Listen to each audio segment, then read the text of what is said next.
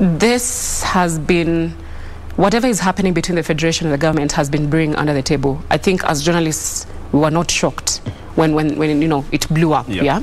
But it has been there for such a long time. But I think it is as simple as the two sides actually sitting on a table. This is what we want from you. As a government, yes, we have been giving you money, but we feel like it's not being put to use the way we want to. And then as a federation, you say, this money, maybe it's not enough, or this money, this is how we use it.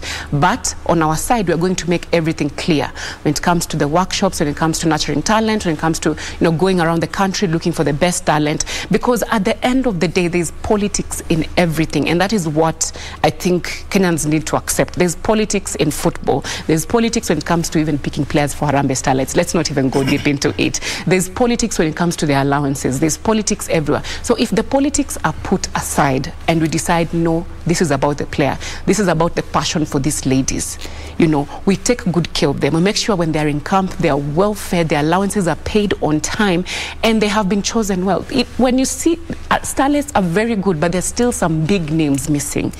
And I won't even, let me not beat around the bush. We'll start with Esse Akida. You understand? Not being part of that team. I'll just be honest.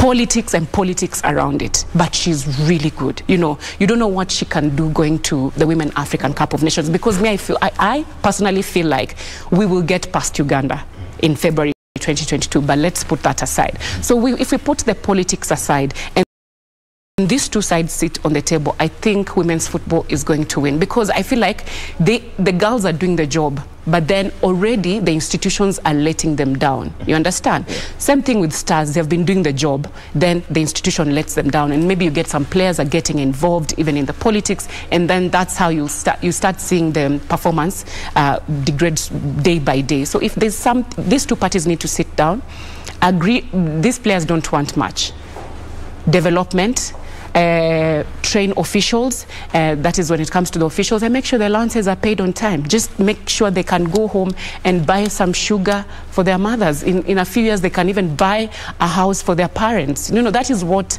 most Africans actually, when, when you go to work, even you, Munga, when you come to work, the first thing you think about is family and how to take care of your family. That's all they want, to be comfortable. If they're comfortable, we're going to win so many trophies in this country. Okay.